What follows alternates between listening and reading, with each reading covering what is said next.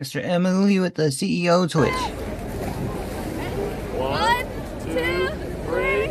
Thought this was gonna be a hot tub stream. I mean, it might be that because it's summer, bro. But they be. I can't tell if that's a pool. Looks like a giant pool to me. Maybe it's a lake. I don't know, guys. Lakes are scary. You don't know what's in a lake.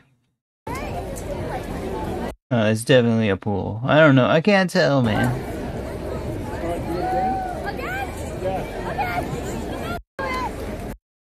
Just jumping. That is awesome. That is awesome.